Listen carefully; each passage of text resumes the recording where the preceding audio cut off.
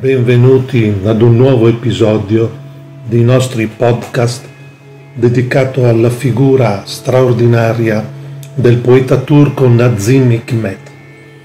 Questo poeta, vissuto tra il 1902 e il 1963, ha lasciato un'impronta indelebile nella storia della letteratura per la sua capacità di esprimere la speranza attraverso le parole.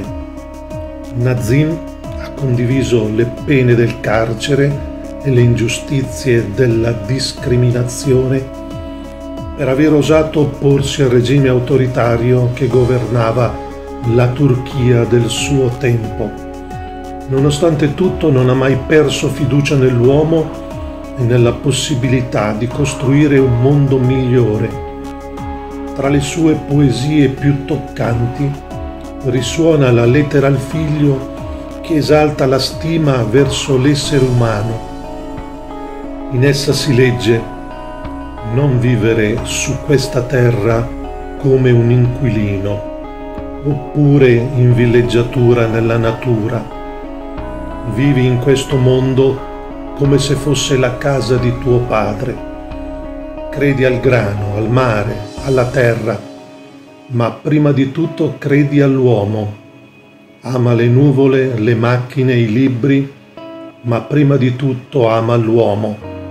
Senti la tristezza del ramo che secca, del pianeta che si spegne, dell'animale ferito che rantola, ma prima di tutto senti la tristezza e il dolore dell'uomo che tutti i beni terrestri ti diano gioia, che le ombre, il chiaro, che le quattro stagioni ti diano gioia, ma prima di tutto ti dia gioia l'uomo.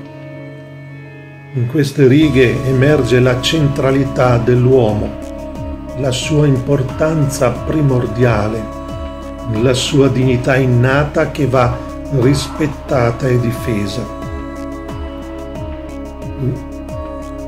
prima di tutto l'uomo, una frase che racchiude in sé l'essenza di una poetica e di un'umanità che non conoscono confini. Grazie per averci accompagnato in questo viaggio attraverso il pensiero di Nazim Hikmet.